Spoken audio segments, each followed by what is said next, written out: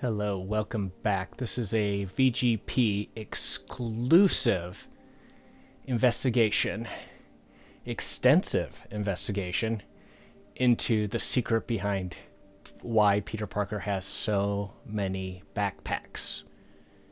This is, we will reveal the shocking truth. And to clarify my previous statement, by extensive we mean collected all the backpacks in the game by investigation, we mean listen to what Peter Parker had to say about each item collected. By we, I mean I. By exclusive, I mean anyone who's played this game could have found this. And um, by shocking, we mean not shocking. So, in Peter Parker's own words, we will discover why somebody who has lives on a week-to-week basis has so many backpacks. My Wilson Fisk Science Prize trophy. And check. I couldn't turn it down without arousing suspicion, but no way was I gonna take his money. Even though we could have used it. I did accept the lifetime supply of backpacks, though.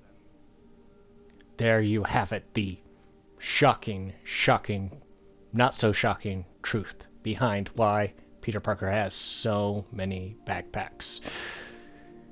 If you're J. Jonah Jameson, please give me a call and send me lots of money for this scoop, and um, I will send you some Spider Man pictures, which may look like selfies but really aren't selfies.